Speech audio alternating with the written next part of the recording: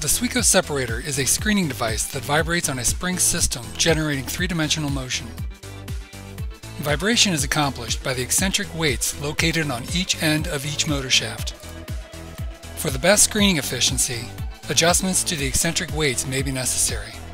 Adjustments will vary with the characteristics of the material and the weight settings.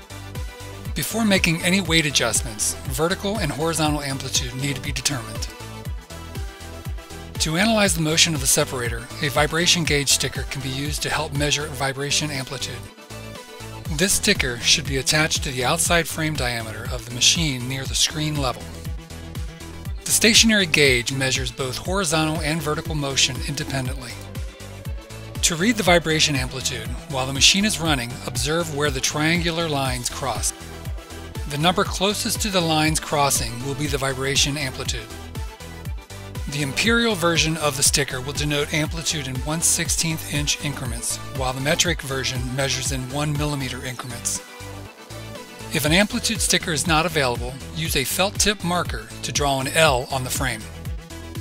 A ruler can then be used to measure the horizontal and vertical amplitude on the motion. For the safe operation of your separator, consult the operation manual for the maximum amplitude levels.